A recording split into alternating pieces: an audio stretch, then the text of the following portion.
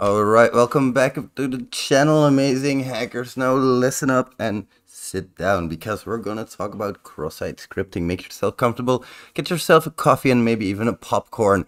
And while you're at it, install an FTP client because you're gonna be hacking along with me at least if you want to. I'm gonna tell you when to pause this video and you're gonna build your own labs on my server.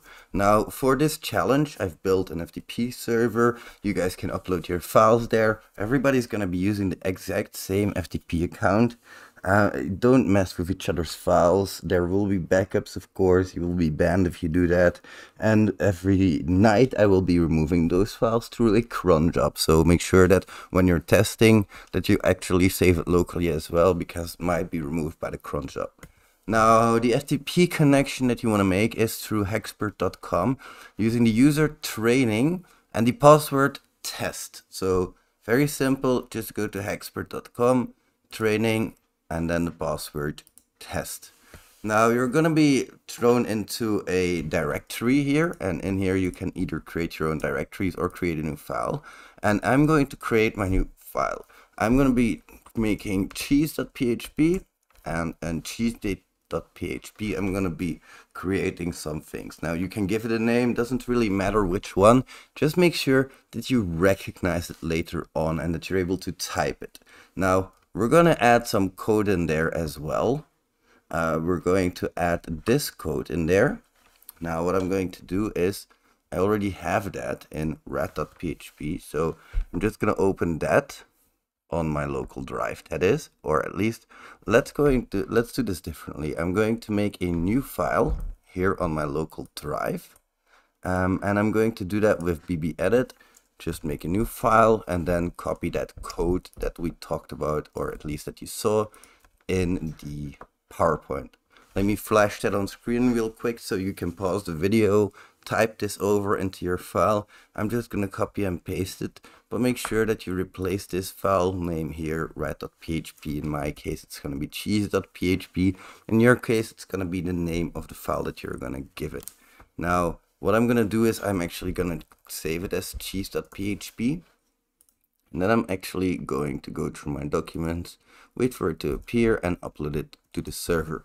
That's going to overwrite the file that was originally there, but that's okay. Because then I can go actually on and go to hackxpert.com and I can go to the slash training directory and in here in the training directory I can find that cheese.php. As you can see, this is what I've created. And now you've built your own labs because this is vulnerable to cross-site scripting. I'm gonna give you a moment, pause the video, try to hack this. Try to perform any type of cross-site scripting in here and see what happens. Now, if you paused the video, good, let's continue. Because in here, everything is possible. There's no real filter. It doesn't really, there's nothing stopping this from popping up. I'm using a very complicated one right now, um, at least decently complicated, but I can also make a very basic one. Doesn't really have to be anything that's uh, that's that um, complicated. So that's that for the first file. Very easy. You can go there. You can try to hack it with reflected cross-site scripting, but anything will go in there. Now for the next one, what we're going to do is we're going to add a little bit of security because let's say we have a script tag, okay? I'm going to go back to BBEdit here and I'm going to say we're going to remove that script tag. So going to pop up the code on screen real quick again. Ooh, wrong there. There we go. As you can see here, echo string replace script with whatever. I'm going to do that as well on my file. So I'm going to do string replace. Uh, need to do that with an underscore, of course, string replace. And then I want to replace every instance of script with nothing in the get variable before I echo it out. So that's going to be my first filter that I put on. I'm going to upload this to the server again, and that's going to make it so that I can't perform the script tag attack anymore. So just basic script is not going to work here. As you can see, it gets filtered out. But then we come into kind of a different situation where if I capitalize anything in this script tag, it's not going to get filtered out. as you might be able to see. Uh, let's do the T here. There we go. I've already bypassed my filter.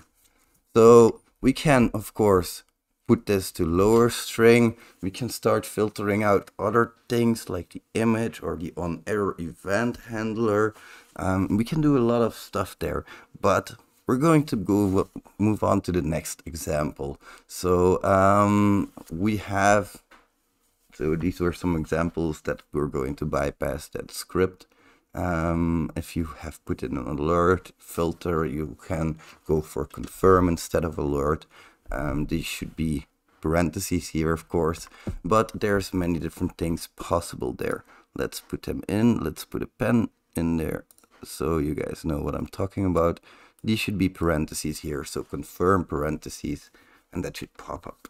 Then we're going to add a different context to our attack that we're going to try. So Again, pause the video, make a new file on the server, um, and then copy over this, making sure that you replace this right here with your own file name, of course. Going to do the same thing, so I'm going to go over, going to go and make cheese with HTML tag .php, Ooh, that's my name. of course, there we go, not .txt, there we go. And then I'm going to copy over that same code that we had before. So, as you can see here, going to remove this for now. So this is the code that we saw on screen right here. And of course, I'm going to have to replace cheese with HTML tag. And it's like this. There we go. So now I've been able to create a different lab, which we're also going to try, of course. Um, if you want, you can go to your same location slash training, and then it's cheese with HTML tag.php in my case. Um, and I've made a mistake, I can see, because I haven't even uploaded yet. Because then we can grab it, we can throw it on FileZilla, and there we go. Now I should be able to access my file. And we do. In this case, I can submit and I can see that my reflection is in an input field. Now let's look at this input field, shall we? Um, in this input field, what we have here is just our value being reflected. Uh, and it says value equals double quote Professor Snape right here. By the way, Professor Snape's good friend of mine, Brandon. Really love him. Awesome guy. I can try to break out of this with using by using a double quote, for example. Now, that's not gonna work in this case. And I'm gonna, again, let you pause the video, try to attack something different here, try to do something different, which will pop up your attack vector. Have you done that? Good, then we're going to move on because now we are going to see what will actually work. To do that, we need to go back to the labs right here and we can easily see why this isn't working. So if we magnify the code a little bit, if that's possible, even apparently not, I'm sorry about that, but I'll just, oh, there we go. My magnification is up here, 400%. Let's do that so you guys can see what's going on. As you can see, the input value equals, and that's not a double quote, of course. This is a single quote. That means that my attack vector also needs to contain a single quote. And then I still need to break out of this HTML tag right here. So I can do that with my greater than sign. And then I can insert my attack vector in there and it will pop up. And you guys have just learned cross-site scripting into the HTML tag attribute context. Good job.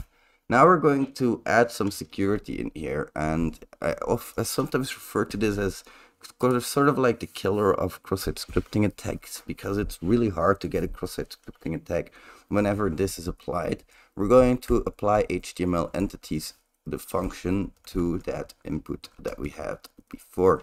And then we're also going to upload that to the server again. And we're going to try and do the same thing that we did before with the single quote uh, to bypass it. That's in this case not going to work anymore because now the HTML entities, as you see, it kind of made a jumbly mess of things. And um, this makes it a lot harder to break out of the HTML tag attribute. So you guys have just added another filter in here.